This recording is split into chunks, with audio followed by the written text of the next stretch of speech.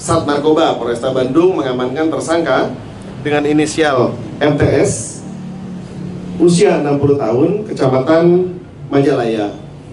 Setelah diamankan tersangka dengan 20 batang 20 pohon ganja, didapatkan keterangan dari tersangka bahwa tersangka pertama kali mendapatkan bibit ganja dari temannya tahun 2021.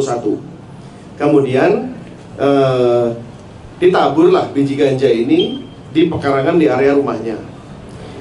Ternyata tiga bulan empat bulan tumbuh.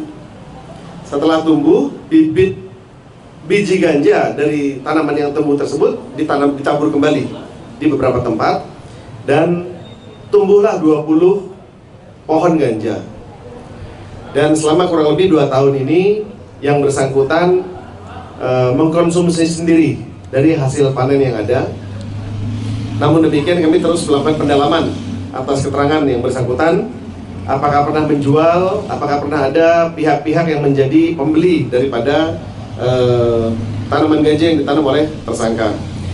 Atas perbuatannya, karena tersangka memiliki, menyimpan tanaman ganja dalam bentuk pohon yang ditanam lebih dari lima batang, dalam hal ini 20, 20 pohon, maka yang bersangkutan dijerat dengan pasal 114 Undang-Undang 35 2009 tentang narkotika.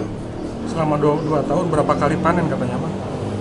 Variatif tergantung daripada uh, tanaman yang uh, kering.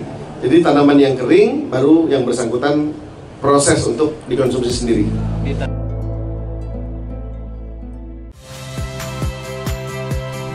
Saya Rahmat Ibrahim. Saksikan program-program Kompas TV melalui siaran digital, pay TV, dan media streaming lainnya. Kompas TV, independen, terpercaya.